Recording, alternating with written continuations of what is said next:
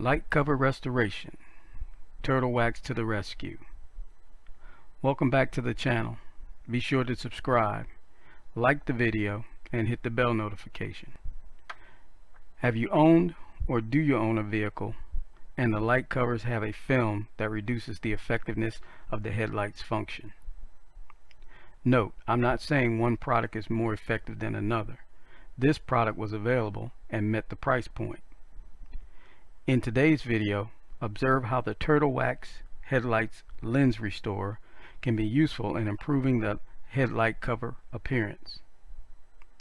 The video highlights contents within the box, steps during the process, and the results after completing the process.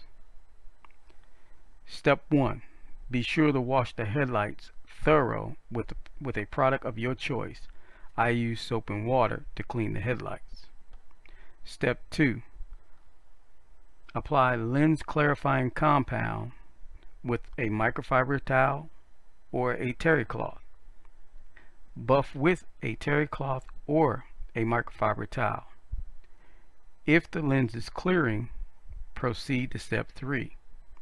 If the lens is not clearing, proceed to step 2A using the green and tan pad which involves the spray lubricant.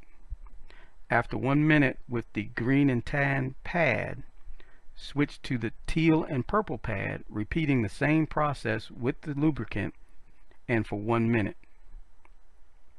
Step 3 encompasses applying the base coat and lens sealing wipes. Step 4 take it in and appreciate the results of the work. Thank you for tuning in and supporting the channel. Hope you see a value in the video and the information. And if you have want to leave a comment or you have a question, please leave it in the comment box below and I'll respond most haste. Thank you.